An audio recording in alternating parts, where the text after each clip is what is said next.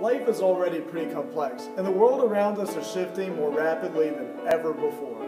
It can feel pretty stressful to try to keep up. Don't you wish, though, that there was something that was reliable?